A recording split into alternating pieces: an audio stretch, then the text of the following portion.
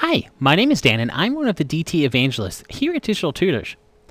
In this video, we're going to look at a question from one of our users, cannibalink, on how we can get a displacement map to show up on our mental ray materials. So to illustrate this, I have a simple scene set up here. And basically, I just have a simple blend uh, with a displacement map on it. And I also have uh, the same file as the displacement map plugged into the color as well, so we can kind of see where it's going to be.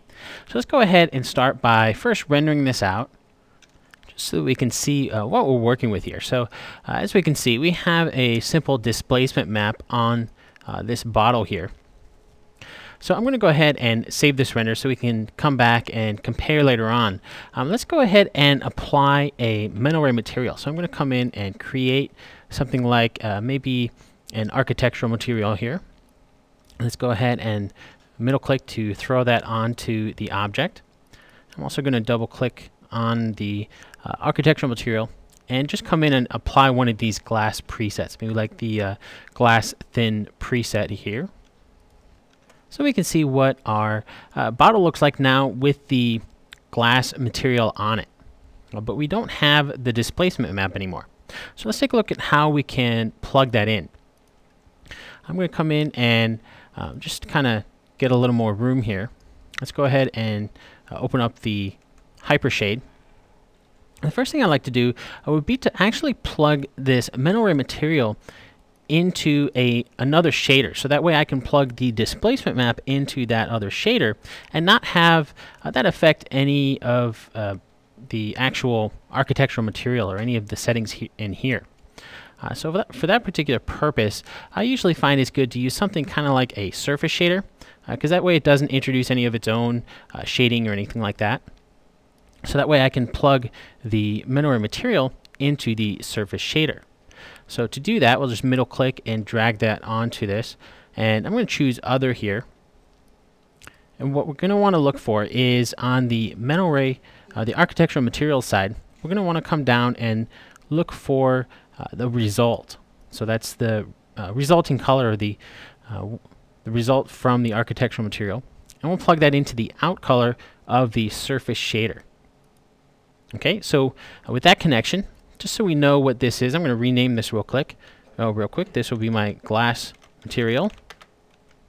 Okay, so with that set up, let's come back in and make sure that we apply this surface shader to our bottle here. All right, great. We have the surface shader is actually applied to this bottle, uh, but if we come in and we look at what it what the uh, architectural material look like, the result is exactly the same. And that's that's exactly what we want because now we can come in and actually plug in our displacement map to this surface shader. Um, so I already had the file loaded up. So uh, this is the just a sample displacement map here that I've created. So you can middle click on this file, go ahead and drag that onto the surface shader and plug that into the displacement map. Okay, so uh, with that plugged in, we can see in the resulting render that we're getting uh, our displacement map coming in here. So this was before, and this is after with the displacement map plugged into the surface shader. Now, if we wanted to actually take this a step further uh, and we wanted to add some color into this, we can't really do that with this surface shader because we already have the result from the architectural material plugged into the color for this surface shader. But we can do that if we were to introduce something like a layered shader. So let's go ahead and drop one of those in here. Bring in a layered shader.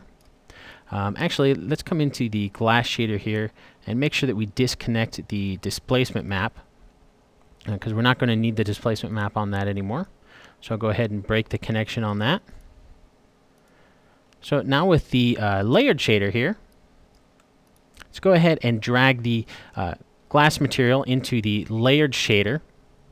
Now it's important to note that um, in order to uh, use a mental ray material with a layered shader, you do need to plug it in through a Maya node. So uh, this surface shader will work, but if I try to take the architectural material and drag that in, uh, it's not going to let me bring that in. We have to actually plug in the result through the out color of something like a surface shader and then use that on the layered shader. Okay, so I have my glass material in here. I'm just going to come in and create another uh, real quick surface shader here to plug the color into.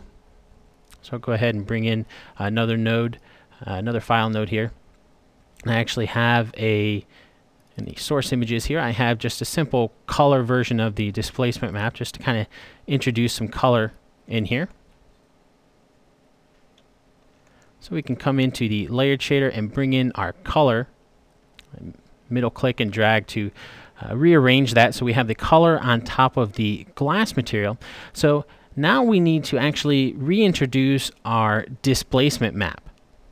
So to do that, we can once again simply come in and middle click and drag that onto our layered shader. So uh, let me make sure that I have my layered shader down here in the work area go ahead and select this, go into graph and add the selected to the graph. So we have our layered shader in here. We can just middle click and drag and add that as a displacement map to the layered shader. So the last step here is to simply apply the layered shader to the bottle. And as we see, we're definitely getting the color in here, uh, but it seems that I've lost the actual uh, color of the architectural material glass color. Um, so let's come in and I'm going to come back into my connections here just to make sure that I have everything connected up properly. Uh, so I have the uh, color surface shader on top of the glass material and we have the transparency and color plugged in here. And this is the color.